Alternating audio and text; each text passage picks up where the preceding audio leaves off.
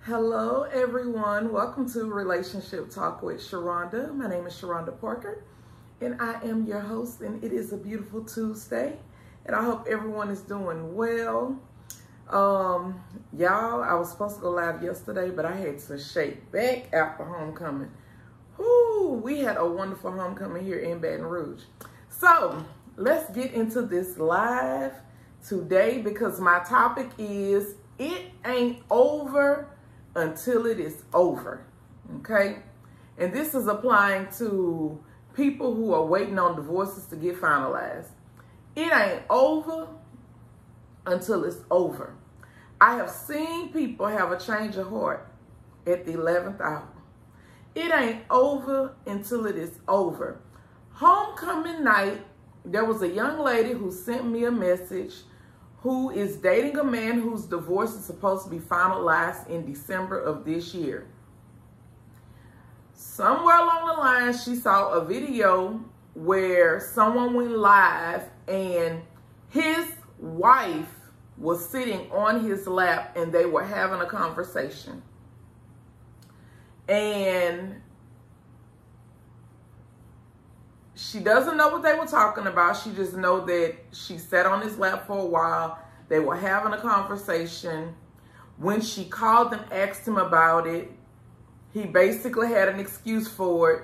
And then they argued and he powered his phone off. Okay.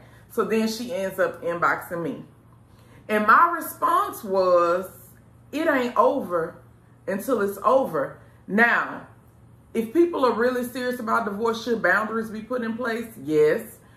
Um, but if anybody is wrong or out of order in this situation, it will be him for starting up another relationship because at the end of the day, his wife is being a wife. Like, if a wife wants to sit on her husband's lap, she can sit on her husband's lap. You know, he got an extramarital thing going on, but she's still a wife.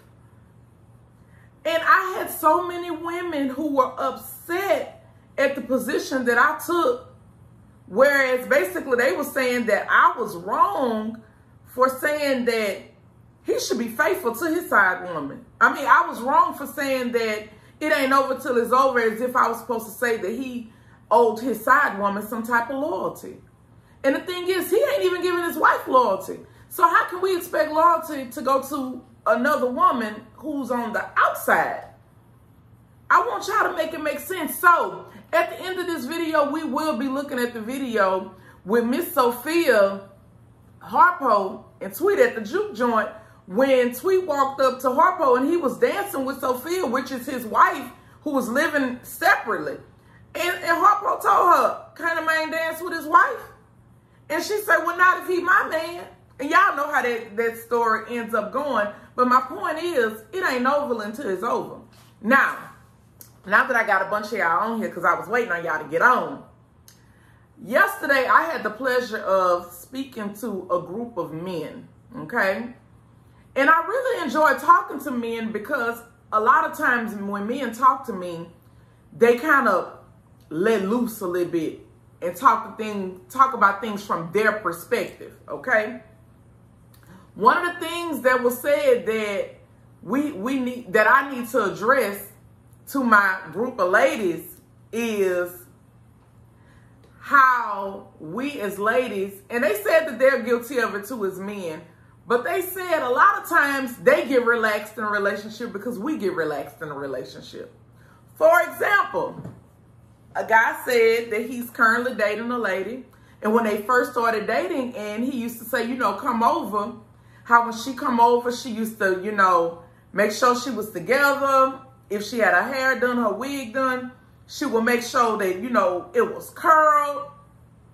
She would just basically come over as if they could possibly go somewhere when they left his apartment. In other words, she would come over as if company might have been over there when she got to his apartment. In other words, she always came and put on her A game when she came over. But lately, he has noticed that when she comes over, she is in sweat sweatshirts, Crocs, joggers, slides, um, baseball cap with braids. He was like, basically when she coming over, it's like coming over to chill. So my question to him was, well, when she comes over, do you ever take her anywhere? Do you ever decide to to do anything? Or is this some type of she knows she coming to Netflix and chill type of situation? And his response was, it doesn't matter what we're doing. If you putting on the best version of yourself for the world, and every time I see an Instagram picture or a Facebook picture or you going somewhere with your friends or you brunching or you going here, that, or other, the world get to see the best version of you. Why isn't it as, as your man that I can't see the best version of you? I need y'all to comment. I, I need y'all to talk to me. Should there be some type of standard that we have when our men see us, especially if we're giving the world the best version of ourselves? Should we apply that to the, the men that we're dating? Should they get to experience us? Or should they get to experience us in our downtown, our, our, our downtime, our relaxed time? In other words, I'm at home, I'm comfortable. You get to see me in my natural element. How does that work, ladies? Talk to me. Let me know. Because my husband gets off at 5 o'clock. And I know by between 5.30 and 5.45, depending on how traffic is, I know he pulling in. But even me married 22 years, guess what I do? I still go and put a little lip gloss on. I still go and take a towel and wash over my face. I, I still take and put a little mouthwash in my mouth and swish out my mouth. Because I know when I greet my husband, I'm going to greet my husband with a kiss. And even at 22 years, I don't want to give you no stale kiss after I have been eating and munching on stuff all day long and doing this and doing that. So my question to you, ladies, are we are, are we entitled to get comfortable? Because I'm a married woman. And even as a married woman, I don't get comfortable. And I know a lot of y'all be like, oh, Sharonda, you be on some old school teaching. And that was some shit out the book of the 1950s where the women go and spruce themselves up before their husbands come home. But my thing is, I done been out here all day long giving the world the best version of myself. Meaning when, when I come to do this live video, I've even got myself together. When I'm here working this store, I sell sex for a living. So I have an understanding that I got to get myself together. So when I leave here and my husband comes home, do you think that I'm going to go home and get up out of all of this here and then have a dust on? No. Even if I decide to get up out of all of this, I put on something decent that's comfortable, but I make sure that I'm still together. These eyelashes don't come off until I get ready to lay down at night. They don't come off. This face does not come off until I get ready to lay down at night. Because I just feel like if I'm going to give you 100%, you better believe I'm going to give Spencer Parker 110%. There's no way that you get more of me than my husband gets of me. And a lot of times we tend to get relaxed. And that's just the truth. But the thing is, men feel like they can't share this with us because as women, we get easily offended.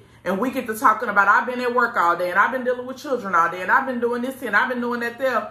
But you know what the man said? I get tired of fucking and she got these damn Cleo braids in from Set It Off and she got a damn cap rack with wigs hanging on it. Put one of them fucking wigs on and fuck me. I was like, woo. Woo. How the world get to see you in your glory, but I got to look and set it off braids. And I got to hit it from the back like I'm fucking a nigga with, with cornrows going down the back of his head. How the world get to see all of this glam but I get to see you just looking toe up any kind of way. And you know what he said she told him? Because it's just you. But let me tell you something, ladies. Men are visual, okay? Men are visual. And there's certain things that we cannot change about men. And one thing that we cannot change about them is visual. They operate on attraction. Attraction. They visual. Meaning that they got to be able to see you in a certain type of way in order for them to remain getting turned on. Yeah. Like a lot of times y'all be getting fucked and you wonder why the dick going limp in the middle of the, in the, in the middle of the fuck. It's because ain't nothing there turning them on. It's the same old, same old every time. It's you, your naked ass, and your cornrows. If you're going to get a wig, get you some good glue. So even if you want to pull it a little bit, it don't come off. Yeah. Because men like that kind of shit. Even if you ain't going to put on no full lingerie, guess what? Put you some pretty panties on. Put a little thong on. You got to do something to keep this man enticed because after a while, it's not fun no more.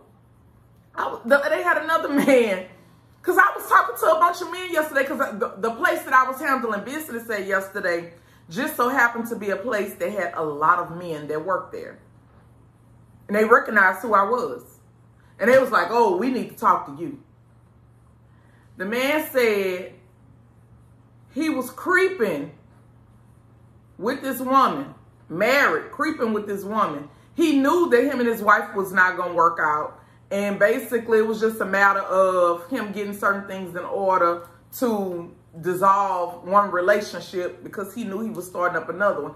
He said, but when he was creeping and parking all the way around the corner to walk to her house, when she, when he would get there, she would have uh, candles lit. The house would be smelling good.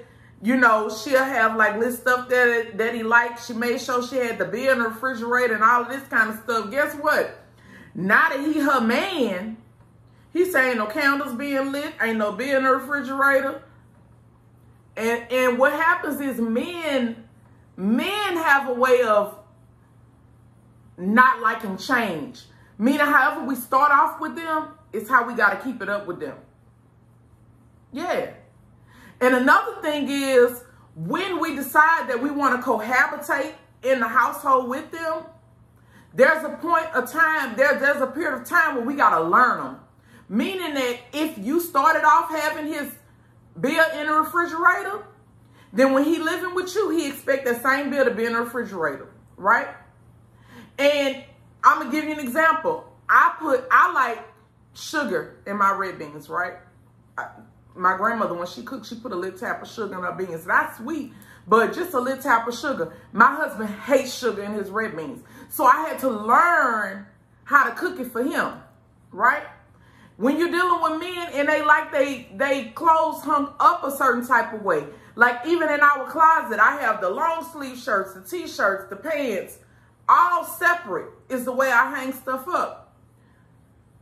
This is how it has always been. So if another woman comes along and she start hanging Spencer clothes up and it's just shirt, pants, long sleeve, short sleeve, however she put it in there all at one time and he got to go and searching for this, that, the other, that's going to be a problem. That is going to be a problem because he is accustomed to long sleeve shirts together, short sleeve shirts together, pants together, shorts together, suits on one side. So that means it comes a period of time where you got to learn your man. And when he's telling you that he like things done a certain type of way, you can't be combative and be like, at least I'm hanging it up. At least I'm washing it. At least I'm doing it for you. Because the same man can say, I would rather you not do it if you're not going to do it the way I need it done. I'd rather you just not do it.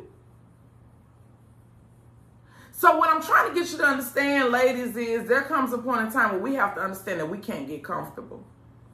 Even when it comes down to our weight, because another man discussed that. When I met her, she was working out. She was drinking tea. She was wearing a waist trainer. She was doing this. She was doing that. She was basically caring about her appearance. Now that we're together, I just noticed that she she not caring about her appearance no more. She ain't trying to keep that waist snatched no more. Even I'm guilty of it. And the reason how I know you can't get comfortable with weight is because I, at one point in my life, was 350 pounds because I had gotten comfortable. Because my husband would never pull me to the side and say, baby, look, yeah, I love you, but this a lot of weight on you. But I'm to the point in my life right now, ain't nobody got to pull me to the side and tell me that you know what? You you putting a little bit too much on. Because i can look at myself and tell that guess what sharonda? You need to cut back on carbs and and and eat more vegetables and protein. Because your face starting to look a little full. See i, I look at myself in the mirror right now and i'm like okay sharonda your face is looking a little bit plush guess what you got to start cutting back on carbs and and upping your proteins and your vegetables because you can't let yourself get back to that weight again. You can't get comfortable like that again. But these are the conversations that when people they they they won't have them with us because they don't want to offend us. And even if a man does try to have it and we get so offended, then we got our family and friends and everybody talking about well, if he don't like it, somebody will like it. But at what point do we hold ourselves accountable? Okay? So at some point, we as women have to hold ourselves accountable because men are visual. So I don't mind having these hard conversations with a group of women. Even when I'm talking to my daughters, you know what I let them know? Okay, y'all need to cut back. Y'all getting too big. You got to have room to grow. You haven't even reached adulthood. Y'all are the size that I was after I had my first child. You got to cut back. You got to discipline yourself. But we feel like we don't have to have these type of conversations. But we do. Because you my girl. We cool. We got to hold each other accountable. Yeah. So now let me lead into the next part of my life. Go best friend. Go best friend. That's my best friend. Yes. Kangaroo. For you and your best friend. Go best friend. Go best friend. So you're getting two for the price of one. Two for the price of one here at the PPG store. Go best friend. Go best friend. Yep. These will go back to regular price after Halloween. But for right now, so you and your best friend can be on the same level when y'all go to the Halloween party. Go best friend. Two for the price of one. Yes, we still have sexy costumes in stock that are a little revealing, but you know, still covered up. Sexy, sexy. Yes, yes, yes. Sexy, sexy. If you if you looked at my uh, post yesterday, you saw the history of the French maid. See, the French maid, I'll give you a little quick history lesson. Basically, she was like um, a wealthy woman, right-hand girl. She made sure her hair was together. She was like a full-on cosmetologist. And she dressed in black and white. And she would make sure that the lady clothes, she kept up with fashion. She was her stylist. She she did her hair. She did her makeup basically she made sure she was ready to go out into the world and ready for her man and she would be dressed in black and white okay so that's the little history of the french maid now what would happen is these women would normally be really really young okay catering to women that was a little older and more established. And a lot of times men would take a liking to this little young girl dressed in the black and white. And industry decided to sexualize the french maid and basically make her an erotic figure because, you know, she was normally a young, little, sexy, fancy little girl dressed in black and white, taking care of the older woman. And of course, men like young, cute, fine, little, young, tender things. So that's how the French maid became sexualized, okay? So, again, we are fully stocked here with costumes here at the PPG store. I have a lot in plus size. I don't have a lot in regular size because regular size women don't really shop. But if you are plus size like me and you want to be uh, on point for the Halloween party and you want to be able to double it and use it outside of Halloween, meaning you want to do some kind of role playing, cosplay, or whatever, come see me, baby. Come see me here at the PPG store. And I think that is going to be about it today. Okay. Make sure y'all, you know, Stay on top of yourself, baby. It, it, you know, a lot of people don't understand the importance of self-care. Self-care is self-love, okay? When I present, when I look at myself and I'm the best version of myself, I love to see me as the best version of myself, okay? So, you know, get, get in some of these makeup classes. Get on YouTube. And I'm not even saying everybody got to wear makeup because you don't may not want to wear makeup and that's fine. But learn how to pluck your eyebrows and, and, and make yourself look neat. It ain't nothing wrong with having natural hair. But if you're going to have natural hair, bitch, you got to arch your eyebrows. You can't have natural hair all over your head and then face just all over the place too. You got to shape that shit up. Like, yeah, you got to look feminine. You got to look like a woman. So wear your natural hair. You ain't got to relax it. You ain't got to perm it. You ain't even got to comb it. But guess what? At least arch your eyebrows. Mm -hmm. At least put a little gloss on, put a little Vaseline on, put a little something on. Yeah, get yourself together. Put your little smell good on. It ain't nothing wrong with being natural, but you can at least smell like a woman. Arch your eyebrows. If you got long sideburns that grow all the way down and look like a beard, get that shit waxed. Yeah. Make yourself look like a lady. Carry yourself like a woman. Yeah. I have to say that. I have to say that. Because sometimes, you know, we be going a little bit too far. We we we won't catch it. I looked at I, I went down I told you I went downtown and um girl I went down to that courthouse and then women up in there, Lord Jesus, I was like, I'm looking at the ID pictures when they got the job, and I'm looking at the way everybody looking today after they done got the job, and I say, Lord, I don't know if life whooping their ass or this job whooping their ass, but I would be pissed off every day if I looked at this ID picture and I look this beautiful on this ID picture, and now I'm coming to work like I just don't give a fuck about nothing no more. We got to start giving a fuck, and we got to start being polite because I was in Tony's and all I did was say, can I please get four lobsters? And I would like to get them steamed. Thank you. And you know, the man said, are you from here? And I said, yes, I'm from here. He said, because we so used to people coming in and just being demanding and not saying please and thank you. So when y'all dealing with people out here in this world, in the service industry, they got to do stuff for you, say please and thank you. Be polite. Because ain't no way somebody should be asking if I'm from here because they're so used to being handled like shit because they behind the counter fixing your seafood. Yeah. I said, I'm from here. Yes, I'm from here. Because I said, can I please get four lobsters? And I would like to get them steamed and soaked. Thank you. Like, we got to be polite. We got to be ladies at all times. Yes, we are ladies. And we have to conduct, conduct ourselves as such. All right? Y'all come see me here at the PPG store. I am here. Yes, I am here. Y'all be blessed.